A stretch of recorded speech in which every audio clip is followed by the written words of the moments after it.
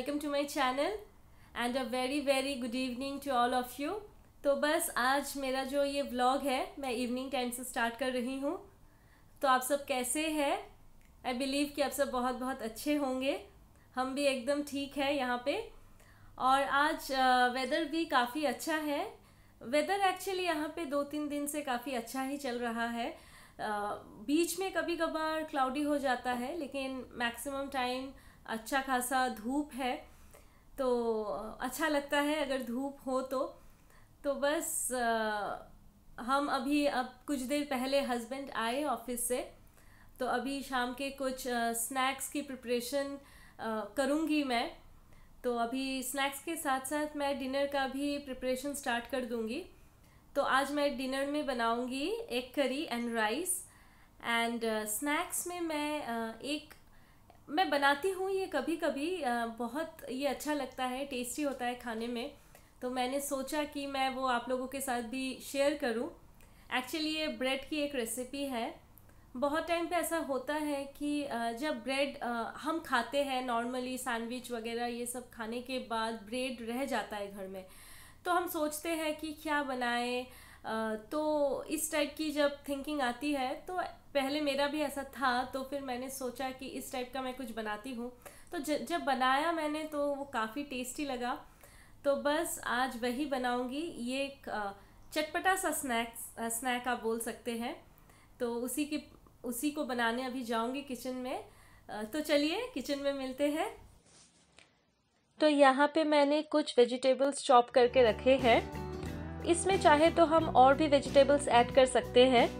तो मैंने यहाँ पे एक बड़े साइज़ का ऑनियन लिया है, एक मीडियम साइज़ का टमाटर और एक ग्रीन कैप्सिकम या बेल पेपर उसका हाफ़ मैंने लिया है। और साथ में थोड़ा सा अदरक उसको भी चॉप करके रखा है। मैंने यहाँ पे ब्राउन ब्रेड लिए हैं, उसके कुछ स्लाइसेस थे तो मैंने उसको इस तरह से टुकड़ों में काट के रखा है। हम उसको नाइफ से भी काट सकते हैं या फिर हाथ से भी इसको तोड़ के रख सकते हैं। ये अपनी विश है।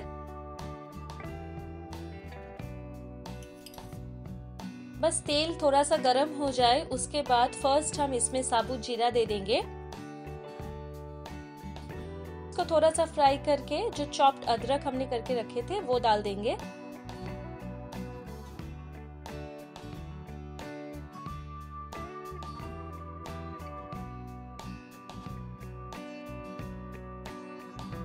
बस इनको थोड़ा सा फ्राई करके मैं ऑनियन दे दूँगी उस पर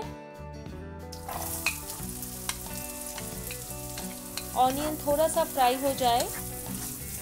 इसके बाद मैं टमाटर और जो कैप्सिकम चॉप करके रखे थे, वो डाल वो डाल दूँगी। और साथ में मेरे यहाँ पे डिनर के लिए मैंने एग भी रख दिए हैं बॉईल होने के लिए। मैंने थोड़ा सा ग्रीन चिली दे दिया है, क्योंकि ये रोहन नहीं खाएगा, इसलिए थोड़ा सा इसको स्पाइसी बनाऊँगी। वेजिटेबल्स को अच्छे अच्छे से फ्राई करके, फिर जो ब्रेड्स मैंने टुकड़ों में काट के रखे थे उसको दे दूँगी। फिर एक एक करके मसाले ऐड करूँगी। यहाँ पे मैंने थोड़ा सा जीरा पाउडर दिया है। Kashmir red chilli powder. मसाले हम अपने हिसाब से दे सकते हैं। कोई आ, कुछ ऐसे हार्ड एंड फास्ट रूल नहीं है कि यही डलते हैं। मैं जिससे बनाती हूँ बस मैं वही आप लोगों के साथ शेयर कर, कर रही हूँ।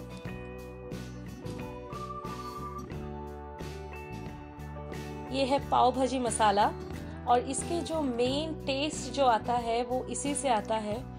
क्योंकि मैं स्टार्टिंग से इसी मसाले का ही यूज़ करती आ रही हूँ। तो ये पाव भाजी मसाले डालने से ये काफ़ी टेस्टी बन जाता है। अगर आपके पास ये मसाला ना हो तो कोई बात नहीं, आप नॉर्मल मसालों से भी बना सकते हैं। मैंने एक बार ट्राई किया था तंदूरी मसाले से, वो भी काफ़ी टेस्टी बना था। तो कोई भी घर में हमारे जो ऐसे एडिशनल मसाले रहते हैं तो हम उसी से ट्राई कर सकते हैं। मैगी मसाला से भी हम ट्राई कर सकते हैं इसको। थोड़ा सा टोमेटो केचप मैं दे दूँगी यहाँ पे। ये जो टोमेटो केचप है, ये हॉट एंड स्वीट है तो इससे भी थोड़ा सा तीखापन आता है।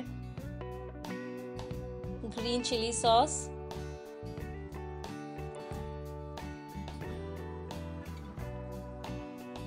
तो ये टोमेटो सॉस आप किसी भी सब्ज़ी में अगर देते हैं तो वो उसका टेस्ट भी काफ़ी बढ़ जाता है, काफ़ी अच्छा फ्लेवर आता है।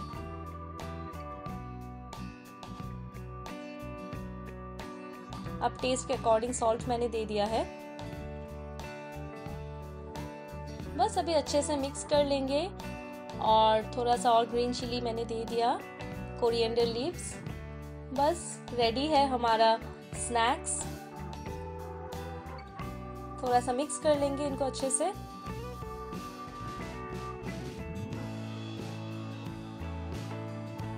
तो ये देखिए रेडी है हमारा स्नैक्स सच में ये काफ़ी टेस्टी बनता है। आप एक बार इसको घर में ट्राई करके देख सकते हैं।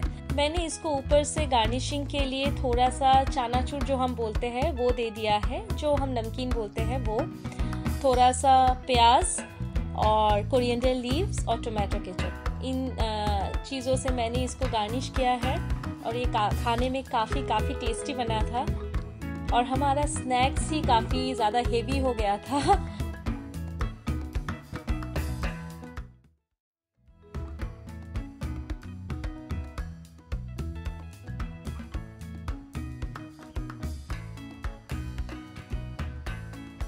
और अभी मैं डिनर के प्रिपरेशन करने आ गई हूँ। तो यहाँ पे फैमिली की डिमांड थी कि एक करी के साथ थोड़ा सा जीरा राइस वो लोग प्रेफर करेंगे। तो इसीलिए मैं थोड़ा सा जीरा राइस ही बना रही हूँ। क्योंकि स्नैक्स काफ़ी हेवी था तो थोड़ा सा ही मैं बनाऊँगी। तो यहाँ पे मैंने थोड़ा सा ऑयल और थोड़ा सा घी दे दिया है। बस नॉर्मल वे में जैसे हम बनाते हैं, वैसे ही मैं बना लूँगी। मैंने यहाँ पे जीरा दे दिया है। और यहाँ पे मैंने ड्राई रेड चिली एक मैंने दिया है। मैंने तोड़ के नहीं दिया, फुल उसको दिया।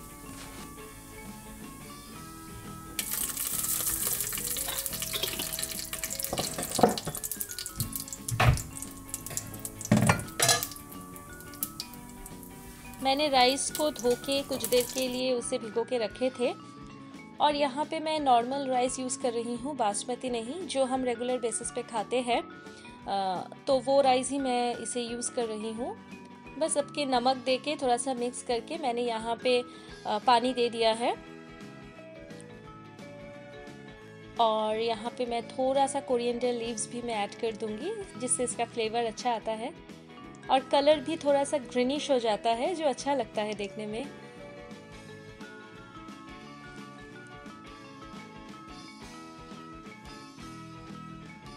अब मैं बनाने जा रही हूँ एक करी। ऑयल गर्म हो जाए फिर मैंने एक को मैंने यहाँ पे एग्स को बॉईल करके रखे थे। उसमें हल्दी और नमक लगा के बस उसको फ्राई कर लूँगी। और जब मैं एग्स को फ्राई मैंने किया था उसके पहले आ, मैंने एग्स में आप देख सकते हैं ऐसे स्लिट्स है तो मैं ऐसे नाइफ से थोड़ा सा स्लिट कर देती हूँ ताकि जो मसाले हैं वो अंदर जाए। यहाँ पे मैं गरम मसालों में दालचीनी, इलायची, लौंग और काली मिर्च मैंने ले लिया है। बस इसको थोड़ा सा कूट लूँगी। तेल गरम हो गए। फिर फ़र्स्ट मैंने गरम मसाले जो मैंने कूट के रखे थे, उसका हाफ़ मैंने दे दिया है। थोड़े अच्छे से उसको चला लेंगे। उसके बाद मैंने एक बड़े साइज़ का ऑनियन मैंने चॉप करके रखा था, वो मैं दे दूँगी। ऑनियन को अच्छे से फ्राई करनी है। यहाँ पे मैंने मीडियम साइज़ के दो टमाटर लिए हैं। तो मैंने टमाटर और जिंजर का मैंने एक पेस्ट बना लिया है।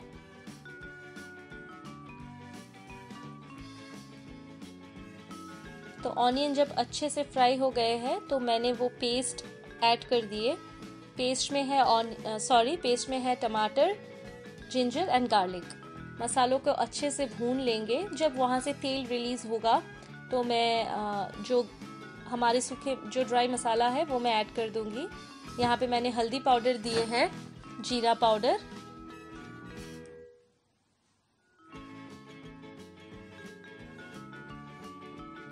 कोरिएंडर पाउडर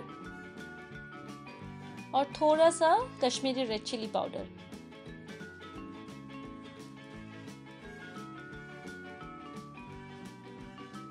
बस सारे मसालों को अच्छे से मिक्स कर लेंगे।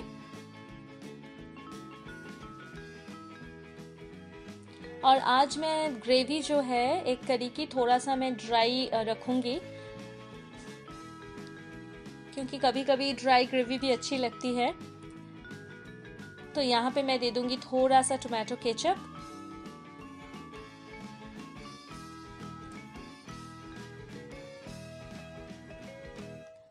मसाले जब अच्छे से मिक्स हो गए हैं, वहाँ से ऑयल रिलीज़ हो गया है, तब मैंने जिस बोल पे मैंने एग को हल्दी और नमक से मिक्स करके रखा था, उसी बोल में मैं गर्म पानी करके मैंने दे दिया है। बस अब ढक के कुछ देर के लिए कुक करेंगे।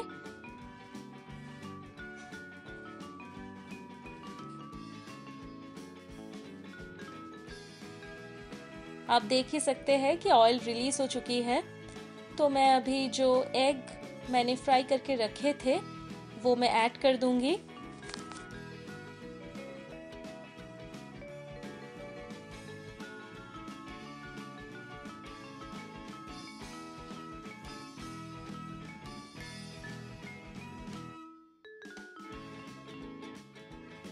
मैंने जैसे आपसे कहा कि मैं ग्रेवी थोड़ा थिक रखूँगी तो मैंने थोड़ा सा ड्राई और थिक ग्रेवी रखा है। और यहाँ पे जो बाकी के गरम मसाले थे, जो मैंने कूट के रखे थे, वो मैंने ऐड कर दिया। यहाँ पे हम नॉर्मल जो गरम मसालों का जो, गरम मसाले का जो पाउडर होता है, वो भी हम ऐड कर सकते हैं, लेकिन मैंने वो वाला यूज़ किया है। और बस अभी लास्ट में थोड़ा सा कोरिएंडर लीव दे के इसको मिक्स कर लेंगे। और रेडी है हमारी एक करी।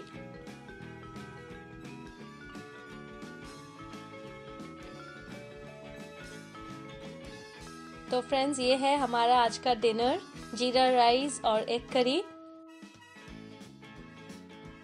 तो फ्रेंड्स आज का मेरा ये व्लॉग यहीं तक था। आई होप कि आपको अच्छा लगा है। और अगर अच्छा लगा है तो प्लीज़ इसे एक लाइक लाइक दे दीजिए। और मेरा चैनल अगर आपको पसंद आ रहा है तो मेरे चैनल को आप लोग सब्सक्राइब कीजिए। और इसी तरह आप सबका लव एंड सपोर्ट मुझे देते रहिए। तो मैं और भी अच्छे अच्छे व्लॉग्स और वीडियोस में आप लोगों के साथ शेयर कर पाऊँ। मैं, लेकिन मैं इस व्लॉग को एंड करने से पहले मैं कुछ बातें मैं आप लोगों के साथ शेयर करना चाहती हूँ। बस वो बातें मैं शेयर करके मैं अपना व्लॉग एंड करूँगी। तो फ्रेंड्स मैं जैसे आप लोगों से बोल रही थी कि मैं कुछ बातें आप लोगों के साथ शेयर करना चाहती हूँ। बात तो ये है कि हम सभी को पता है कि अभी हमारे देश में इंडिया में आ, कैसा क्लाइमेटिक कंडीशन है। गर्मी इतना ज़्यादा है और सच में ये एकदम इनटॉलरेबल है। आ, इतनी गर्मी के कारण कुछ भी करना इम्पॉसिबल हो रहा है दिन ब दिन। हर एक एरिया में हर एक स्टेट पे हर एक सिटी पे बढ़ती ही जा रही है गर्मी जिसकी कुछ लग रहा है जिसका कुछ लिमिट नहीं है शायद। और इसी गर्मी में बस सब हम वेट करते रहते हैं कि कब बारिश हो। तो अब जब बारिश हुई है हम देख पा रहे हैं कि सिचुएशन कितनी क्रिटिकल बन गई है। आ, हम सब जानते ही है कि अभी हाल में मुंबई का क्या कंडीशन है। मुंबई में जो रहने वाले हैं वो क्या सिचुएशन फेस कर रहे हैं। और वो बारिश ज़्यादा होने के कारण वहाँ पे ये कंडीशन है। और और एक साइड पे हम देख सकते हैं कि जैसे तमिलनाडु के कई जगहों पे, चेन्नई में हम देख सकते हैं कि बारिश ना होने के कारण कैसे लोग सरवाइव कर रहे हैं वहाँ पे। कितना क्रिटिकल कंडी कितना क्रिटिकल हो गया है उनका जीना वहाँ पे। लोग अपने घर छोड़ रहे हैं ऑफ़िस मतलब जॉब छोड़ना पड़ रहा है, ये सब सब हम जानते ही हैं। तो सच में ये जब हम न्यूज़ देखते हैं या पेपर पे पढ़ते हैं तो हम फील करते हैं कि क्या सिचुएशन कितना क्रिटिकल कंडीशन है। लेकिन रियलिटी में जो लोग ये फेस कर रहे हैं, हम सोच भी नहीं सकते कितना डेंजरस होगा उन लोगों के लिए। तो बस अभी ये जो सिचुएशन आई है इसके लिए काफ़ी हद तक हम जिम्मेदार हैं। क्योंकि बस आ, हम मॉडर्नाइजेशन के चक्कर में हमारे सिटीज़ को डेवलप करते रहे। बस हमारा ध्यान सिर्फ़ इंफ्रास्ट्रक्चर पे होता गया और इस वजह से डिफॉरेस्टेशन काफ़ी ज़्यादा हुआ है। हमारे एनवायरनमेंट पे बहुत बहुत इसका इफ़ेक्ट हुआ है बहुत नुकसान हुआ है। और सच में इसके ऊपर हमने कभी फोकस ही नहीं किया। जो सिचुएशन अभी चेन्नई में है तो ज़्यादा दूर नहीं है कि अगर इस तरह से कंटिन्यू होता रहेगा तो कई जगहों पे ये स्टार्ट हो सकता है।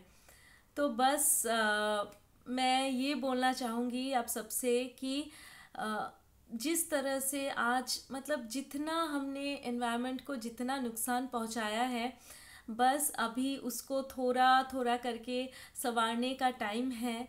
क्योंकि अभी से अगर हम ये, हमारा ये, हमारी जो ये कोशिश है, हम स्टार्ट नहीं करेंगे तो सीरियसली ये हमारे लिए और हमारे जो फ्यूचर जनरेशन है, उनके लिए बहुत ही ये एक डेंजरस ये एक रूप में कन्वर्ट होगा, जो ऑलरेडी ये स्टार्ट हो चुका है। तो फ्रेंड्स मैं बस आ, मैं आप सबसे ये रिक्वेस्ट करती हूँ और हम भी ये कोशिश करेंगे कि एक तो तो बस जितना हो सके हम पौधे लगाना स्टार्ट करें। ये इनिशिएटिव अगर हम एक एक करके ले तो सच में ये एक बहुत ही एक इसका अच्छा इफ़ेक्ट होगा। और साथ ही साथ जो पानी का यूजेज है उसके ऊपर भी हम ध्यान दें। क्योंकि अगर अभी से हम पानी को एक लिमिट में उसका यूज़ नहीं करेंगे तो फ्यूचर में बार बार ऐसे सिचुएशन सिचुएशंस हमें फेस करने पड़ेंगे। तो मैं आप सबसे ये रिक्वेस्ट करती हूँ कि हम सब ये कोशिश करें कि जितना हो सके हम पानी का कम से कम मतलब जितना हमारा, हमारी ज़रूरत जितनी है, उतना हम उसको यूज़ करें और पानी को बिल्कुल भी वेस्ट ना करें। इससे शायद हम हमारे फ्यूचर जनरेशन को एक सिक्योर्ड लाइफ दे पाएँगे। और जैसे आप में से शायद बहुतों को पता होगा कि हमारे प्रधानमंत्री जी है पीएम नरेंद्र मोदी जी। उनकी एक सीरीज़ होती है, मन की बात। वहाँ के एक एपिसोड के दौरान उन्होंने वाटर कंजर्वेशन के ऊपर बहुत अच्छी अच्छी बातें कही है। तो आप उनको भी देख सकते हैं, जिन्होंने नहीं देखा है। अब हम अपने डेली एक्टिविटीज़ में डेली लाइफ में थोड़ी थोड़ी करके इनिशिएटिव्स ले तो आई बिलीव कि आ, सच में हमारा जो सिचुएशन कंडीशन दिन ब दिन क्रिटिकल होता जा रहा है वो थोड़ा सा लिमिट में आए और हम सभी अच्छे से जी पाए। तो बस ये बातें मैं आप लोगों के साथ शेयर करना चाहती थी। तो बस अभी से अगर हम थोड़ी थोड़ी करके इनिशिएटिव ले तो हम आगे इसको एक बेटर रूप में कन्वर्ट कर सकते हैं। तो फ्रेंड्स मेरा आज का ब्लॉग यहीं तक था। तो आप सब अच्छे से रहिएगा। मैं फिर मिलूँगी आप लोगों के साथ बहुत जल्द किसी नए वीडियो या ब्लॉग के साथ। एंड तब तक के लिए bye bye see you and take a very good care of yourselves